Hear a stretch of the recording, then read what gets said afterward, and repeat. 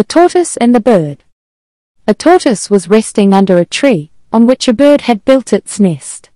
The tortoise spoke to the bird mockingly, What a shabby home you have.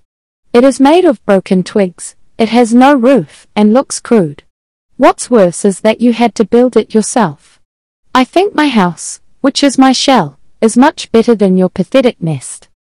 Yes, it is made of broken sticks, looks shabby and is open to the elements of nature. It is crude, but I built it and I like it. I guess it's just like any other nest, but not better than mine, said the tortoise. You must be jealous of my shell, though. On the contrary, the bird replied.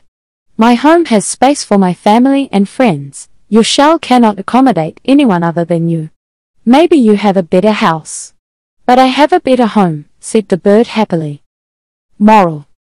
Better a crowded hut than a lonely mansion.